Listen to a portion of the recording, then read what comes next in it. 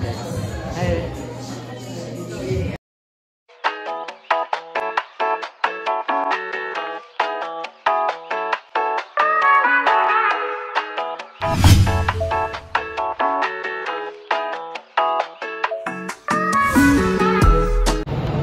yun mga amigo, nandito nga kami sa downtown Las Vegas. Ko si Zia at si. So, ayan guys. Lalakad kami downtown downtown Las Vegas. So, papunta tayo sa ah, yung pupuntahan natin guys is sikat na lugar. Silver and Gold Pawn Shop.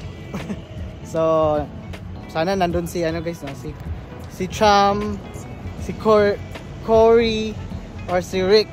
Then magpapa magpapa signature tayo. Pero ngayon naglalakad kami. Alright, samahan niyo ako guys. Let's go! Guys, yung downtown Las Vegas. Ang ganda, no? Ang shop.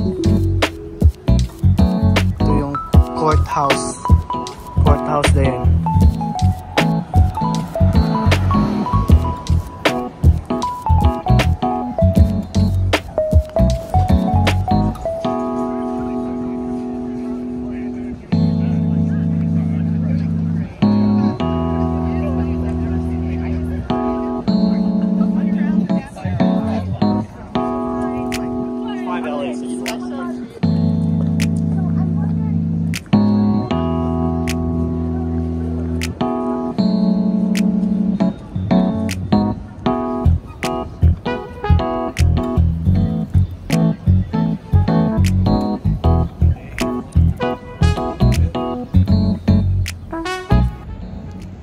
So hello mga amigo, nandito nga tayo sa and po Pawn Stars. Right? So yan, let's go.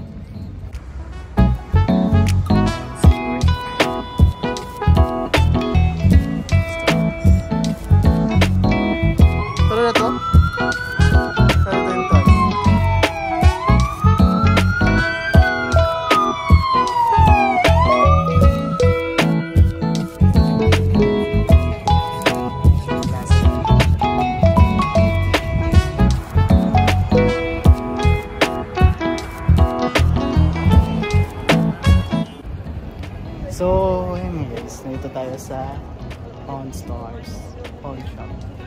And so, ito yung nakikita natin. Pasok, pasok tayo sa loob. Okay? Let's go, let's go inside. Tayo sa loob guys.